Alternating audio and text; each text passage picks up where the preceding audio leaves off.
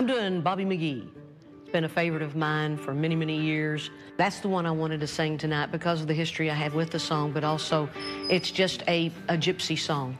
And I, I just have always really thought myself as a gypsy. So it really did tag into well, well with me. I love that song.